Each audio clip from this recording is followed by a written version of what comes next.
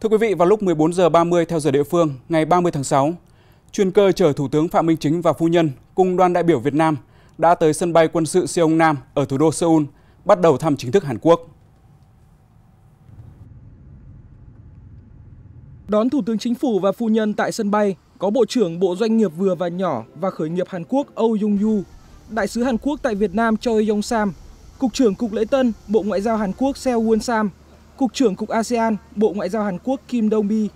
Tổng tư lệnh sân bay quân sự Seoul Nam, Cục trưởng Cục Lễ Tân, Bộ Ngoại giao Hàn Quốc và Đại sứ Việt Nam tại Hàn Quốc lên tận máy bay đón Thủ tướng Chính phủ và phu nhân.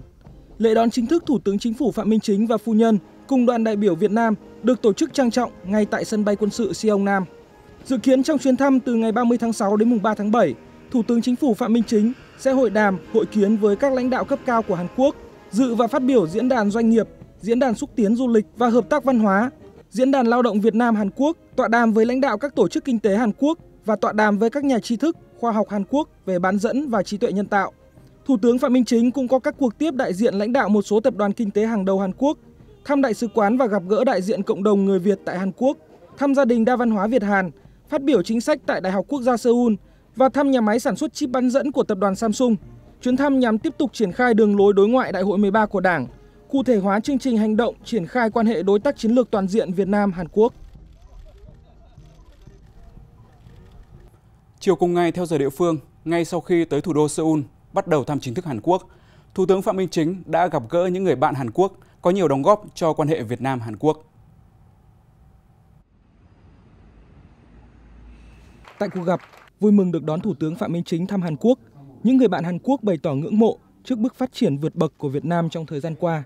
Vui mừng trước quan hệ hai nước không ngừng được vun đắp, phát triển, trở thành đối tác chiến lược toàn diện của nhau. Cho biết, với nền văn hóa có nhiều điểm tương đồng, tình cảm chân thành, những người bạn Hàn Quốc đã có các hoạt động hỗ trợ Việt Nam, đang làm việc, học tập, sinh sống tại Hàn Quốc. Đồng thời, có nhiều hoạt động thiết thực khác nhằm kết nối, thúc đẩy các hoạt động kinh tế, lao động, văn hóa, du lịch, giao lưu nhân dân, khoa học công nghệ, y tế, giáo dục, ủng hộ Việt Nam đối với các vấn đề liên quan trong khu vực và quốc tế. Khẳng định, mỗi người dân Hàn Quốc đều có tình cảm tốt đẹp với đất nước, con người Việt Nam.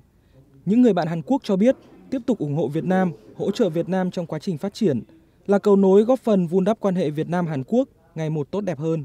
Bày tỏ xúc động trước tình cảm của những người bạn Hàn Quốc dành cho nhân dân, đất nước Việt Nam, Thủ tướng Chính phủ Phạm Minh Chính gửi lời cảm ơn, chúc mừng tốt đẹp nhất của Tổng Bí thư Nguyễn Phú Trọng tới những người bạn Hàn Quốc, những người đã kế thừa, nuôi dưỡng và không ngừng đóng góp, cống hiến cho quan hệ hai nước Việt Nam Hàn Quốc trong hơn 30 năm qua. Đặc biệt, cảm ơn ông Cho Chun Hiên, tác giả cuốn sách mang tên Tổng Bí thư Việt Nam Nguyễn Phú Trọng vừa xuất bản. Nhắc lại mối lương duyên Việt Nam Hàn Quốc, Thủ tướng Chính phủ cho biết tình hữu nghị và sự kết nối giữa Việt Nam và Hàn Quốc được khởi nguồn từ thế kỷ thứ 12 khi hai dòng họ Lý là Lý Hoa Sơn và Lý Tinh Thiện của Việt Nam nhập cư vào Triều Tiên đã sớm hội nhập vào cộng đồng cư dân Hàn Quốc và có những nhân vật có công hiến trong lịch sử Hàn Quốc. Quan hệ Việt Nam Hàn Quốc trải qua thăng trầm của lịch sử. Năm 1992, Việt Nam và Hàn Quốc đã chính thức thiết lập quan hệ ngoại giao, mở ra chương mới trong quan hệ hai nước. Từ đó đến nay, quan hệ Việt Nam Hàn Quốc đã phát triển hết sức mạnh mẽ, thực chất và đạt được nhiều thành tựu to lớn. Việt Nam và Hàn Quốc đã trở thành đối tác quan trọng hàng đầu của nhau trên nhiều lĩnh vực. Hiện nay, Hàn Quốc giữ vị trí số 1 về đầu tư trực tiếp, đứng số 2 về hợp tác phát triển và du lịch và số 3 về hợp tác lao động và thương mại. Trên cơ sở tin cậy về chính trị, tương đồng về văn hóa, gần gũi về địa lý, bổ trợ cho nhau về kinh tế, cùng chia sẻ những lợi ích chiến lược chung, hai nước đã quyết định nâng cấp quan hệ lên đối tác chiến lược toàn diện. Hiện nay, cộng đồng người Hàn Quốc tại Việt Nam có khoảng 100.000 người, trong khi cộng đồng người Việt Nam tại Hàn Quốc có khoảng hơn 270.000 người và hai nước có hơn 80.000 gia đình văn hóa Hàn Việt. Hai nhà nước, hai chính phủ luôn tạo cơ hội, điều kiện và bảo đảm quyền, lợi ích hợp pháp chính đáng của người dân hai nước. Thông tin tới những người bạn Hàn Quốc về tình hình và đường lối xây dựng đất nước, đường lối đối ngoại, chiến lược quốc phòng 40 của Việt Nam, nhắc lại lời của Chủ tịch Hồ Chí Minh lúc sinh thời, biết đồng sức, biết đồng lòng, việc gì khó cũng làm xong. Và câu ngạn ngữ của Hàn Quốc, đồng sức, đồng lòng, thắng cả trời cao. Thủ tướng Chính phủ Phạm Minh Chính đề nghị trong thời gian tới, những người bạn Hàn Quốc tiếp tục mở rộng, đổi mới các hoạt động giao lưu hợp tác, kết nối, hỗ trợ, ủng hộ lẫn nhau, tuyên truyền cho nhân dân hai nước hiểu hơn về lịch sử, văn hóa, đất nước con người của nhau, phát huy hơn nữa vai trò cầu nối, góp phần vun đắp cho mối quan hệ giữa hai nước không ngừng phát triển tốt đẹp, bền vững vì sự hùng cường, lớn mạnh của hai nước và vì cuộc sống ấm no, hạnh phúc của nhân dân hai nước. Chiều tối nay ngày 30 tháng 6 tại thủ đô Seoul, Thủ tướng Phạm Minh Chính và phu nhân đã gặp gỡ cán bộ, nhân viên đại sứ quán, các cơ quan đại diện Việt Nam và đại diện cộng đồng người Việt Nam tại Hàn Quốc. Hiện nay, cộng đồng người Việt Nam tại Hàn Quốc có khoảng gần 280.000 người. Bà con tiếp tục phát huy truyền thống đoàn kết, tương thân, tương ái, giúp đỡ nhau ngày càng phát triển, giữ gìn bản sắc dân tộc. Nhiều người thành đạt, luôn hướng về quê hương, cùng đóng góp tích cực vào sự nghiệp xây dựng bảo vệ Tổ quốc và làm cầu nối tăng cường quan hệ hữu nghị giữa hai nước Việt Nam Hàn Quốc. Tại cuộc gặp mặt, đại diện cộng đồng người Việt Nam tại Hàn Quốc cho biết luôn hãnh diện, tự hào là người Việt Nam, mong muốn chính phủ chỉ đạo các bộ, ngành tạo điều kiện thuận lợi hơn nữa các thủ tục hành chính liên quan đến quốc tịch Việt Nam và các giấy tờ tùy thân, có chính sách thông thoáng, tạo điều kiện tốt hơn nữa để kiều bào hướng về Tổ quốc. Bà con đề xuất một số sáng kiến phát triển khoa học công nghệ, đổi mới sáng tạo, lâm nghiệp, trong đó có đề xuất liên quan đến phát triển ngành công nghiệp mới như chip bán dẫn, trí tuệ nhân tạo, kết nối các nhà khoa học trong nước với người Việt Nam ở nước ngoài, có cơ chế để huy động nguồn lực, trí tuệ của người Việt Nam ở nước ngoài giải quyết các vấn đề ở trong nước. Sau khi lãnh đạo các bộ, ngành liên quan chia sẻ, giải đáp đối với các ý kiến của người Việt Nam tại Hàn Quốc liên quan đến vấn đề quốc tịch, giấy tờ tùy thân, chính sách thu hút các nhà khoa học, kết nối mạng lưới đổi mới, sáng tạo Việt Nam toàn cầu. Phát biểu tại cuộc gặp mặt, Thủ tướng Phạm Minh Chính truyền lời hỏi thăm, chúc sức khỏe, hạnh phúc, thành công của Tổng Bí thư Nguyễn Phú Trọng tới toàn thể cộng đồng người Việt Nam tại Hàn Quốc, ghi nhận, biểu dương tình cảm và ý kiến tâm huyết, trách nhiệm đối với quê hương, đất nước và với quan hệ Việt Nam Hàn Quốc. Thủ tướng Chính phủ cho biết, quan hệ Việt Nam Hàn Quốc chưa bao giờ tốt đẹp như hiện nay, trở thành đối tác quan trọng hàng đầu của nhau trên nhiều lĩnh vực. Thông tin về tình hình đất nước, Thủ tướng Chính phủ khẳng định, đất nước ta chưa bao giờ có được cơ đồ, tiềm lực, vị thế và uy tín quốc tế như ngày nay. Trong điều kiện bị tác động, ảnh hưởng của tình hình chung, kinh tế vĩ mô Việt Nam tiếp tục ổn định. Lạm phát cơ bản được kiểm soát, các cân đối lớn được bảo đảm, nợ công, nợ chính phủ, nợ nước ngoài trong ngưỡng cho phép, nhiều định chế thế giới lạc quan và dự báo tăng trưởng GDP của Việt Nam. Khẳng định, Đảng, Nhà nước xác định người Việt Nam ở nước ngoài là bộ phận không tách rời và là một nguồn lực cộng đồng dân tộc Việt Nam. Thủ tướng ghi nhận cộng đồng Việt Nam tại Hàn Quốc đã có những đóng góp lớn với chất lượng cao cho Tổ quốc và cho quan hệ song phương. Cho rằng sự thành công của người Việt Nam ở nước ngoài, trong đó có bà con tại Hàn Quốc, cũng là sự thành công của đất nước. Thủ tướng Chính phủ Phạm Minh Chính khẳng định các vấn đề mà bà con quan tâm, đề xuất đang được các bộ, ngành, cơ quan thuộc chính phủ tích cực phối hợp với các cơ quan của Quốc hội xem xét trên tinh thần những gì có lợi cho bà con, cho đất nước và cho quan hệ Việt Nam Hàn Quốc thì hết sức làm. Những điều có hại cho bà con, cho đất nước và quan hệ Việt Nam Hàn Quốc thì hết sức tránh. Thủ tướng Chính phủ yêu cầu Đại sứ quán Việt Nam tại Hàn Quốc phải luôn quan tâm, chăm lo cho cộng đồng người Việt Nam tại Hàn Quốc trên tinh thần bà con như là người thân, công việc của bà con cũng như công việc của nhà mình. Lập kênh liên hệ phù hợp để kết nối cộng đồng, xử lý các vấn đề liên quan cho bà con.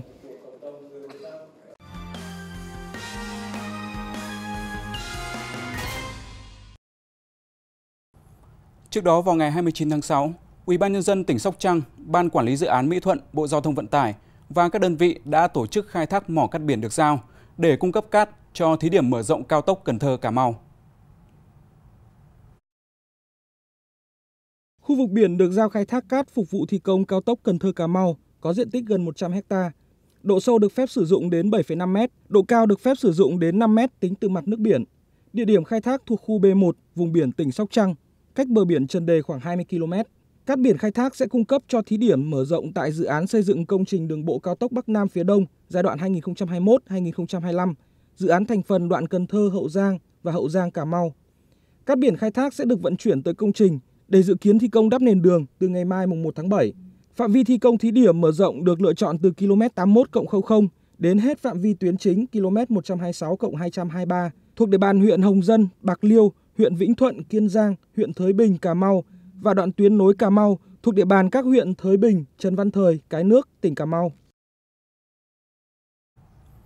Thưa quý vị, trong bối cảnh xuất khẩu là động lực tăng trưởng quan trọng của nền kinh tế, việc tận dụng công nghệ số và thương mại điện tử xuyên biên giới để khai thác tiềm năng xuất khẩu toàn cầu đang được chính phủ và cộng đồng doanh nghiệp ngày một đánh giá cao và điều hướng tập trung.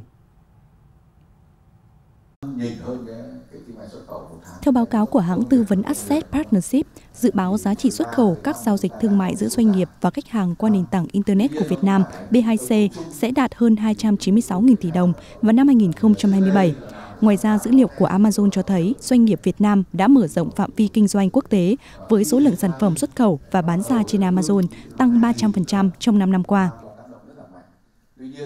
Tính đến tháng 8 năm 2023 vừa rồi thì à, đã có hơn 17 triệu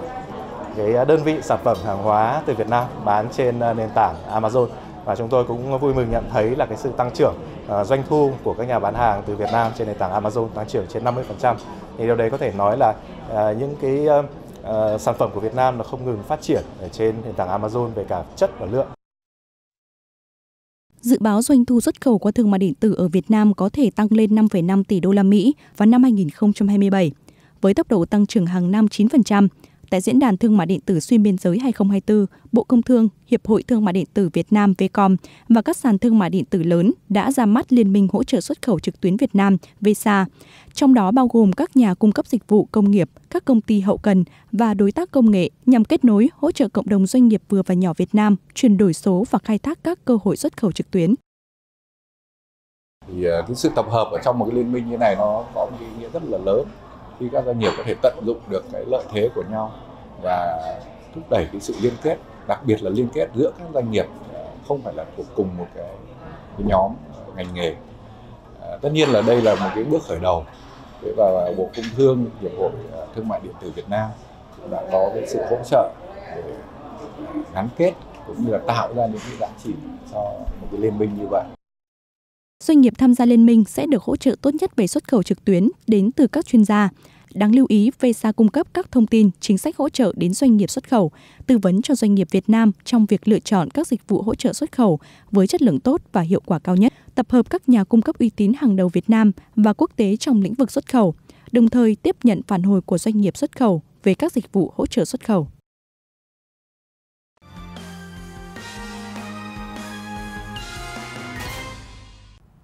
Ban Chỉ huy Phòng chống thiên tai và tìm kiếm cứu nạn thị xã Sapa, tỉnh Lào Cai cho biết, trên địa bàn vừa xảy ra sự việc hai cháu nhỏ mất tích khi bắt cá ở khu vực suối tại xã Hoàng Liên.